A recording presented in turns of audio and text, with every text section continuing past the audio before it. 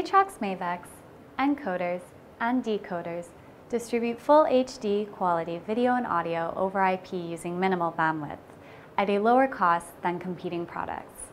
In this video, you'll learn how easy it is to remotely discover and manage your Maevex devices on a subnet of your IP network, and even add devices outside of the subnet using Matrox PowerStream software. To begin, install PowerStream on a Windows-based system connected to the subnet with a DHCP server in place. To avoid delays, I've configured the controller system with a fixed IP address as its DNS server. Once the software is installed, double-click the PowerStream icon on your desktop.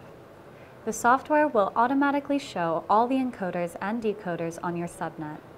Devices are represented by tiles and the status of a specific device is indicated by its tile's text and color.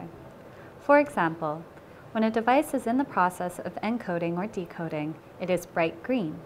If a unit previously detected on the network is no longer found, it shows up as dark gray and includes the last known IP address.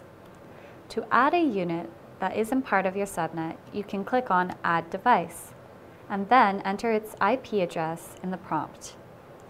It will then appear on the screen. When a device is green, it is ready for you to configure its settings. Double-click on an encoder. Here, you will see the selected encoder's serial number, DHCP assigned IP address, name, and stream address and properties. You can easily change the name of the encoder, which is initially set to its serial number. You can change it to better reflect the source content it is encoding or even something simply more familiar to you. Just type in a new name and press Apply. The name on the main page has been changed too. By default, the encoder is set up to stream at high quality while using optimal bandwidth. If you want to fine-tune its settings, you can click on this arrow to access other parameters. But right now, we will stick to the basics. Once they are adjusted to your liking, though, you can begin streaming. Just press Start Encoding.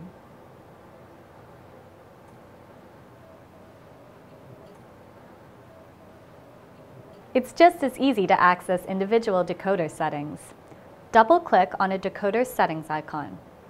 Here, you see all the decoder's basic information and again, just like the encoder, you can click this arrow to access other parameters. You can also assign the decoder to the encoded source of your choice. For now, be sure the encoder corresponding to the stream address is actually encoding. If not, an error message will appear. Since we already pressed Start Encoding, we can now safely press Start Decoding.